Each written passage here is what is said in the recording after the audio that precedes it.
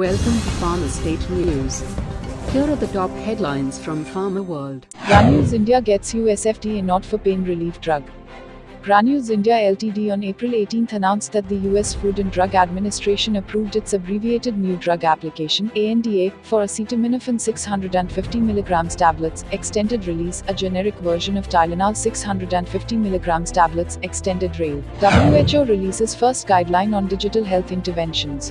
WHO today released new recommendations on 10 ways that countries can use digital health technology, accessible via mobile phones, tablets, and computers, to improve people's health and essential services. India to be one of the world's fastest growing bio hubs in 2019, says CPHI. India has over 70 approved biosimilars in the domestic market, more than any other country, and market penetration, which is currently relatively low, is expected to increase quickly in 2019 as the middle classes in Korea say demand. HIV drug makers ViiV, Gilead Top 2018 Pharma Reputation Survey. In third place was Johnson & Johnson Pharma unit Janssen, which moved up from fifth place last year. Here in one whale, Aurobindo recalls 88k lidocaine injections from US.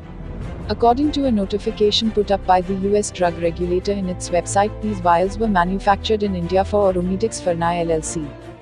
US FDA grants fast track designation to CTX001 for treatment of transfusion dependent beta thalassemia.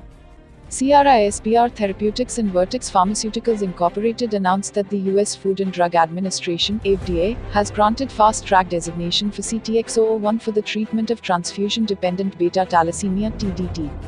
IBM to wind down Watson's work in AI based drug discovery, says report.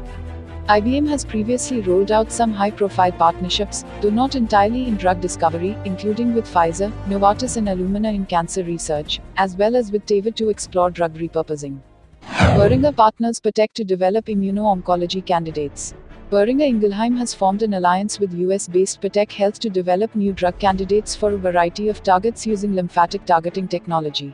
Pfizer and Lilly announced top-line results from long-term phase 3 study of tanezumab in patients with osteoarthritis.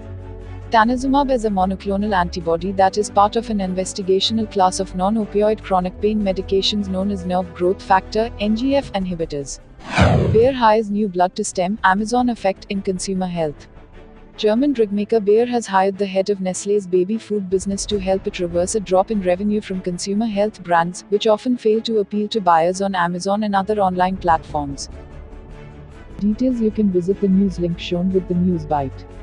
And for quick pharma industry updates, download Pharma State app.